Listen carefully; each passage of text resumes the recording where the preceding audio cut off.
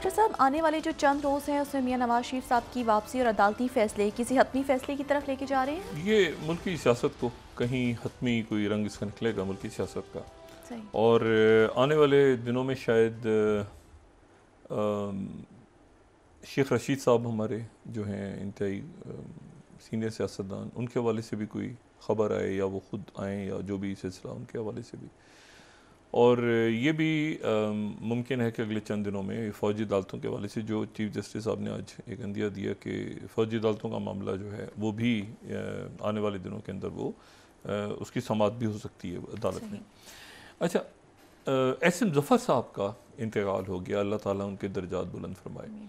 हमारी मुल्क की तारीख़ हमारी मुल्क की अदालती तारीख़ और हमारा जो एक आप समझें कि पूरा मुल्क और लाहौर और इधर उधर जो जिस तरह से महफ़िलों में उनका और एक उनका जिसे कहना चाहिए कि अंदाज गुफ्तु और बड़ी उनके साथ बड़े ताल्लुकात रहे। अली ज़फ़र साहब के वालिद। सही। और एस एम ज़फ़र साहब जो हैं ये तिरानवे बरस की उम्र में इनका इंतकाल हुआ अल्लाह ताला इनके दर्जात बुलंद फरमाए। ये बर्मा रंगून में ये पैदा हुए थे। और फिर उसके बाद 1965 में ये अयूब खान सदर अयूब खान की कैबिनेट में वज़ीर कानून थे जब भुट्टो साहब वज़ीर ख़ारजा थे। और भरपूर ज़िंदगी गुजारी और भरपूर ज़िंदगी गुजारी और कमाल की शख्सियत थे। तो इनके जाने का एक दुख रहेगा, एक बड़ा खला है जो पूरा नहीं हो सकेगा। अल्लाह ताला इनके दर्जात बुलंद फरमाए और इनके अहल खाना जो हैं सबसे हमारी बहुत दिलों से दिल से ताज़ियत दूसरी बात मैं आपसे जो बात कह रहा था ना कि इसराइल में ये जो बॉम्बिंग्स हो रही हैं रॉकेट गिर रहे हैं उन्होंने कहा जी रॉकेट ये इधर गिर गया किसने मारा? उन्होंने कहा जी इस्लामी जहाद ने किया वो बाइडन कह रहे हैं कि जी मेरी मुझे इंटेलिजेंस ने बताया। ये सारा ये हो रहा है ना सारा कुछ। इसके इससे हट के एक इस न, इन नक्शों को ज़रा देखें। दो जो मैं आपको अभी दिखा रहा हूँ। एक सी आई ये सी आई ए और चाइना और यूरोप के मुल्क इस पर तकरीबन मुतफिक हैं। मैं वो आपको स्लाइड दिखा रहा हूँ। ये जो इसराइल है इसमें एबाहान के मकाम पे न्यूक्लियर वेपन्स को स्टोर किया हुआ है। हैफा के नज़दीक न्यूक्लियर वेपन्स हैं। हैफा पर भी हैं पॉसिबल न्यूक्लियर वेपन्स उसके बाद airbase near suspected gravity bomb storage bunkers हैं यहाँ पे।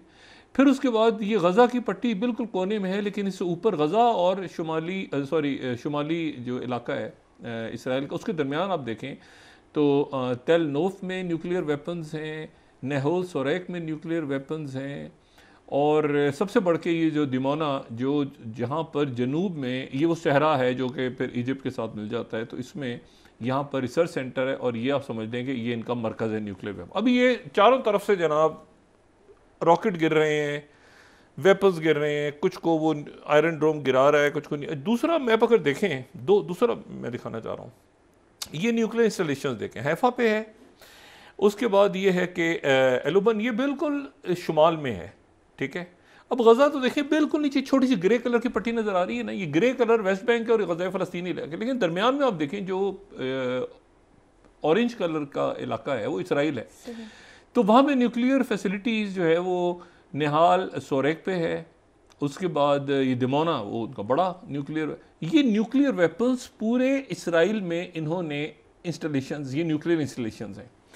मैं, अब जो रुक, ये एक हद तक मामला हो सकता है कि रॉकेट इधर से फेंका तो इधर से, ये चेरनोबल वाला वाकया, ये एक सैमसन ऑप्शन पे तैयार हो गए थे। मैंने कहा ना सैमसन ऑप्शन पे तो उन्नीस सौ तिहत्तर में इन्होंने कहा था कि न्यूक्लियर चला दो और मतलब ख़त्म कर दो सारा दुनिया भी जाए, हम भी जाएँ।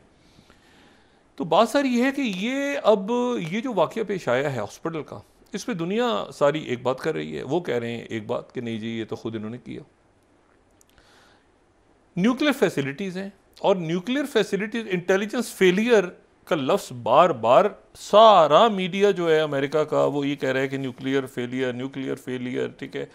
और ये न्यूक्लियर फेलियर का जो लफ्स है, ये न्यूक्लियर फेलियर अगर तो ये हो जाए ना ये फॉरेन पॉलिसी जैसे कह रहा है बार बार मैंने फॉरेन अफेयर फॉरेन अफेयर्स कह रहा है सत्रहवीं स्लाइड इसराइल्स इंटेलिजेंस डिजास्टर मसला ये है कि ये न्यूक्लियर फैसिलिटी अगर तो न्यूक्लियर फैसिलिटी ये न्यूक्लियर स्टेट है मैंने पहले कहा ना और थोड़ा छोटा सा मुल्क है। ये कोई काजकिस्तान या कोई सूडान या कोई सहराए सीना या कोई मंगोलिया इस तरह से कोई बहुत बड़ा मुल्क नहीं इसराइल एक छोटा सा इलाका है जिसमें एक तरफ़ गजा है एक तरफ़ जो है वो मगरबी किनारा है दरमियान में इसराइल है। इन्होंने पूरे मुल्क में वेपन्स को रखा हुआ है।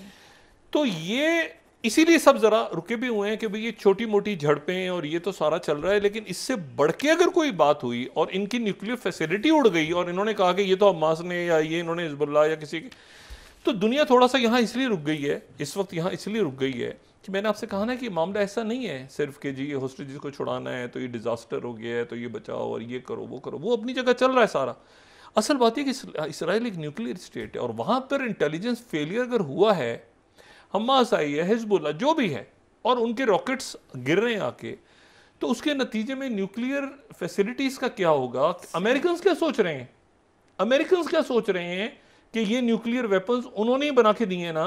उन्हों, उन्होंने ही फैसिलिटी अगर किसी फैसिलिटी के ऊपर न्यूक्लियर फैसिलिटी के ऊपर कोई रॉकेट गिर गया किसी ने भी गिराया इसको छोड़ दें आप। वो इल्ज़ाम लगाने वाला भी कोई नहीं रहेगा ना बाद में। कि इशू ये है कि ये न्यूक्लियर स्टेट के अंदर सिक्योरिटी का फेलियर और डिप्लोमेसी का फेलियर ये अब सबको रिस्ट्रेन कर रहा है कि ज़रा रुको। क्योंकि इसके बाद जो कुछ होगा ये ऐसा नहीं है गज़ा को काट दिया तो गजा बीच में से वो सुरंगों में से बम फट गए वो और वो अपनी जगह अलग है। वो भी कुछ करेंगे आगे से।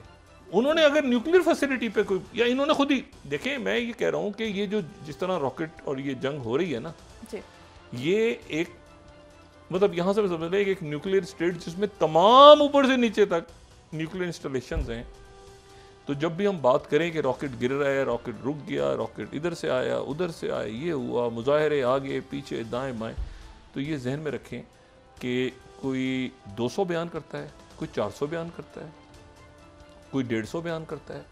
इतने न्यूक्लियर वॉर हेड्स इसराइल के पास तैयार खड़े हैं जो कि एक बड़ी रेंज रखते हैं। ये वाद मुल्क है मशरक वस्ती का जो कि न्यूक्लियर स्टेट है लेकिन ऐलान नहीं करता कि हम न्यूक्लियर स्टेट हैं इसलिए कोई माहदे वाहदे साइन भी नहीं होने किए अच्छा अब इसमें जो दूसरी चीज़ है जो इसके साथ अब आप के वहाँ पर इसराइल में हमास आ गई इंटेलिजेंस फेलियर था क्या था? अगर एल ए टाइम्स को देखें thirty in Hamas attack on Israel reflects intelligence failure but that's not the worst failure अच्छा उसके बाद फिर अगर हम इकोनॉमिक्स देखें पंद्रह, एहूद बराक जो कि सबक वज़ी अजम है, वो कह रहे हैं बनियन पंद्रहवीं स्लाइड नतन याहू को कह रहे हैं for the greatest failure in Israel history आज जो गालंत हैं वज़ीर दिफा, वो कह रहे हैं कि takes responsibility to stop terror onslaught फिर उसके बाद फॉरेन पॉलिसी लिख रहा है how Israeli Israel spies failed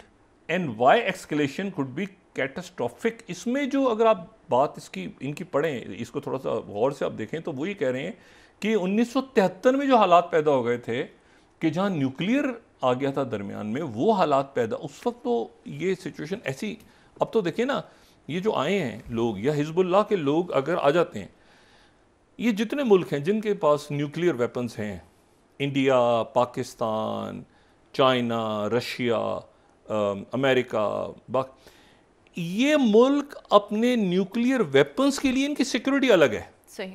ये पुलिस रेंजर्स जो है ये कोई एफ़ आई ए वाले रेंजर्स ये इनकी सिक्योरिटी का सिस्टम इतना सख्त है कि कोई तस्वुर भी नहीं कर सकता कि वो आपके क्योंकि उसका उनका बाकायदा मुहिना होता है ठीक है?